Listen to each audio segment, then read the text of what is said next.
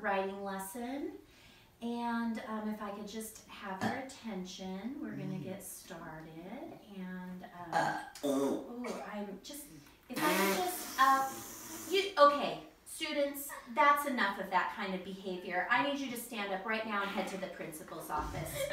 No, You're here the to green ninja's out now. Come on. You need to head out. Lloyd out.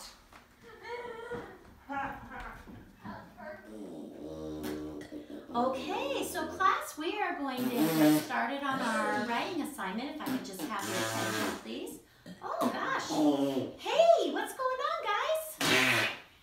What's going Oh, on? Oh, we ate lots of beans and pop for breakfast, This and now we're farting and pooping. This Oh, this this mommy. mechanic ate bird farts and phone burps Oh breakfast. no. Well, that is and is pooping out on Oh my goodness. Well, I can understand why you'd be kind of gassy. It seems like it's getting in the way of us getting started on our writing assignment. I'm wondering if you have any ideas of what we could do. screen. Now. I know, sure. Oh yeah, we could go. we could go outside and run our farts out.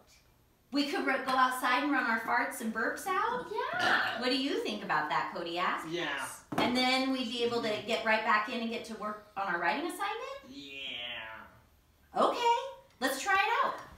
I'm so ugh. I'm so ugh. ugh, ugh.